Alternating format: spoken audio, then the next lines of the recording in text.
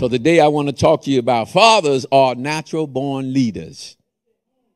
As a woman is a natural is naturally chosen to bear children, a man is naturally chosen to lead. In uh, John 5 19, it said, The Son can do nothing of himself, but what he seeth the Father doing, that's what he does. Amen. That's Jesus saying, I do what I see my Father doing. That's what I do. Amen. This places a tremendous responsibility on the fathers that we are being followed. Somebody's always watching us. We are looked up to and expected to lead. Now, not only are we leaders, we are the providers. Paul says that in 1 Timothy 5 8, Paul says that if a man will not provide for his own, he has denied the faith. If he does not provide for his own, he has denied the faith and is worse than a infidel. And you know, infidel just means an unbeliever. He's worse than those who are unsaved. However, it is equally important to provide direction. As a father, we are given the responsibility to direct our family, to move them into the right direction. All I'm telling you today, the mother is something else. That mama will try to, the Bible called it usurp that authority. I tell you, beware, mamas, because you are to help the father direct but not to usurp that authority and trying to tell him no. You can always give help. Help is needed eh, when it comes to directing because fathers get overwhelmed sometimes when they make decisions and it just doesn't turn out the way they expected. They found that that might have been the wrong decision. It didn't say that we are natural born best or good leaders, the best at what we do. It would be great if we were, but we are not. Therefore, in the beginning, woman was cursed to obey our leadership. Whew. Now, I tell you, if we were that good, it would not be a curse. I have to stand here before you and say, ain't no curse to follow what I say do. I thank God that He sent Jesus to help me lead my family, that it no longer will be a curse to do what I say do. Amen. If I can get all the fathers just to say, do what I say do, ain't it hard? Ain't it hard? It's hard for them. They like, uh, don't say it again. Do what I say do.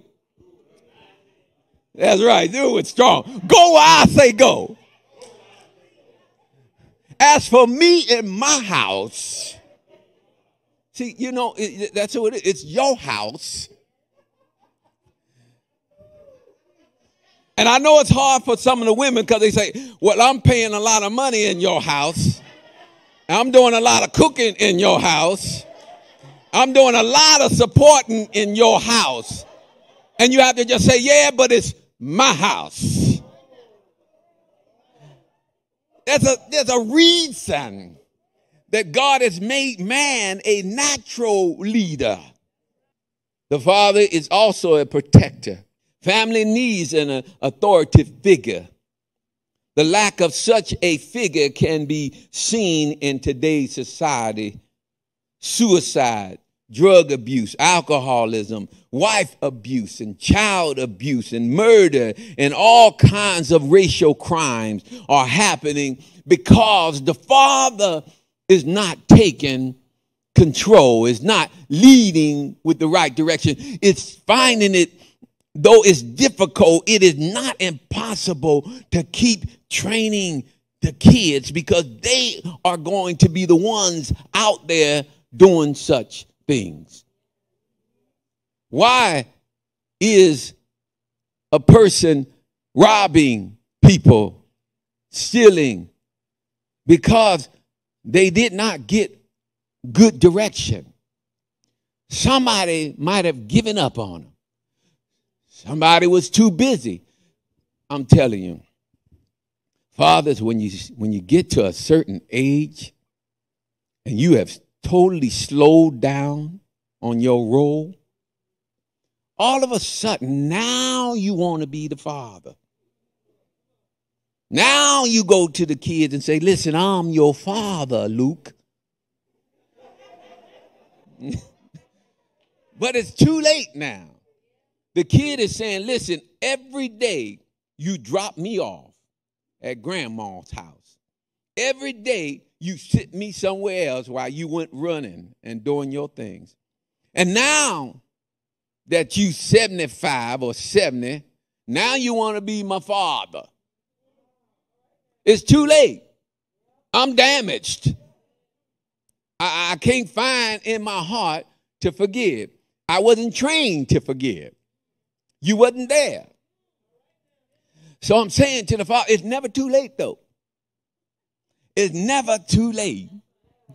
Come back. Come back and come back strong. Go and be the father that God has called you to be. A good man, I wrote here, a good man will become a good father. However, in Matthew 19 17, it says, There is none good. So, how can a father be a good leader if there's none good? Well, if we looked at Luke 18 27, it said, what is impossible with man is possible with God. We, as leaders, must also be able to trust the Lord.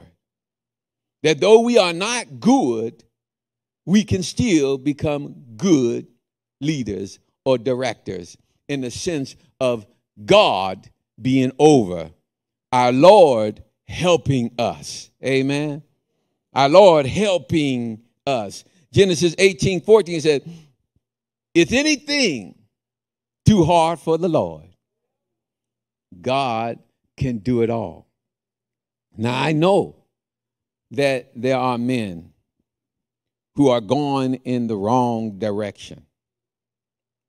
What do you do when the head of your house hold is going in the wrong direction? I'm talking to the women. What do you do? You pray. You pray. You pray and you pray. And after you finish praying, you pray some more. And you keep praying. And you pray until a change comes.